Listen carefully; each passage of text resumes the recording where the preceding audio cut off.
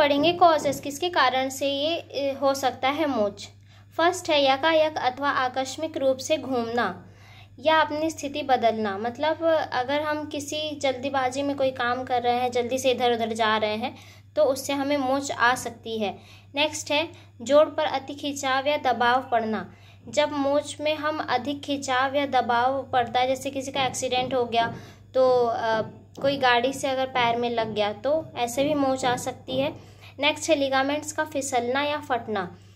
मतलब अगर हम फिसल जाते हैं कभी कभी तो क्या होता है, हमारे लिगामेंट्स टिश्यूज़ भी उसमें फट जाते हैं और वो फिसल जाते हैं। नेक्स्ट है पेशियों की थकावट। पेशियों में जब आराम नहीं मिलता है तो उसके कारण भी मोच उत्पन्न हो सकता है। नेक्स्ट है साइन सिम्टम्स क्या लक्षण दिखते हैं? दर्द होगा, सूजन भी होगी बहुत ज़्यादा दर्द होगा पेशेंट को और बहुत ज़्यादा स्वेलिंग हो जाएगी, खरोच मतलब कुछ भी रेडनेस टाइप का खरोच हो जाएगा। नेक्स्ट है जोड़ की हलचल कम होना। जो हम अच्छे से चल फिर पा रहे हैं, वो नहीं कर पाएँगे। नेक्स्ट लिगामेंट के फटने पर चरचर की ध्वनि। लिगामेंट जब फट जाता है तो क्या होता है, ऐसे चर चर करके आवाज़ आती है। नेक्स्ट है मोच वाले भाग का उपयोग में लेना। कठिन। जब मोच लग जाएगा हमें पैर में तो क्या होगा, हम चल नहीं पाएँगे। नेक्स्ट हम क्या पढ़ते हैं? ट्रीटमेंट हम ट्रीटमेंट क्या क्या कर सकते हैं? स्ट्रेन या स्प्रेन में।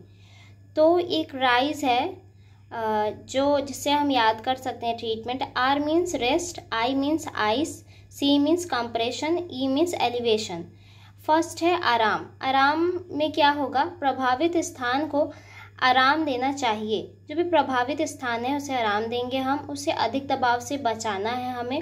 तो हमें पेशेंट को आराम कराना है। नेक्स्ट है आइस बर्फ़। मतलब मोच में तत्काल बर्फ़ का प्रयोग करने से सूजन और दर्द कम हो जाता है, इसलिए हम बर्फ़ का उपयोग करेंगे।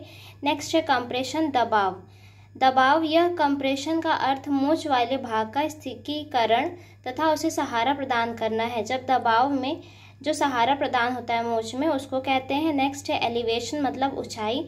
शरीर के अन्य भागों की तुलना में मोच वाले जोड़ या भाग को ऊंचाई पर या उठाकर रखना चाहिए। जैसे हमें पैर में अगर चोट लगी है तो हमें क्या करना है?